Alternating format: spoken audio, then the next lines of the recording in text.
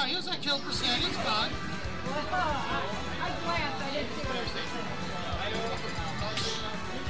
No stage Falcon likes better than Thanos. You don't think so? Like, we both have uh, fucked up shit on this game. But now, I, did, I would just play downtown against the other guy. Really? Yeah. Three games. That's all. That's all you wanted to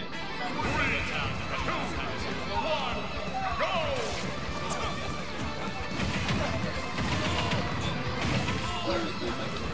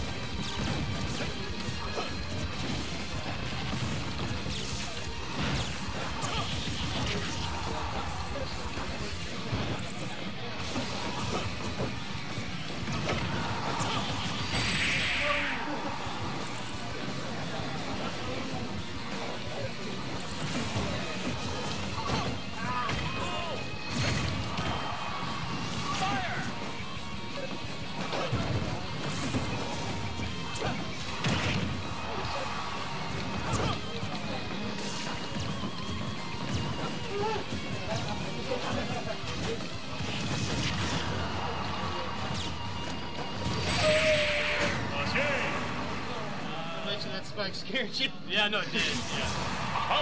Sorry, got a check. You know, funny enough, I think we had a very similar interaction. Well, we, might, we might have matched every time. We had a game sometime. Yeah. Um, I do it all the time off stage because it's like, get greedy. Yeah, no. Throw it in. It's like either you die or you don't. correct. You do or die.